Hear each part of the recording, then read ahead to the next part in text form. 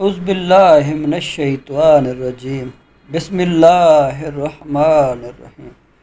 مفہوم حدیث، حضرت محمد صلی اللہ علیہ وآلہ وسلم نے فرمایا، اللہ تعالیٰ فرماتا ہے، اے اب ابن آدم، جب تک تو مجھے پکارتا رہے گا اور مجھ سے مغفرت کی امید رکھے گا، تو میں تجھے معاف کرتا رہوں گا۔ اے ابن آدم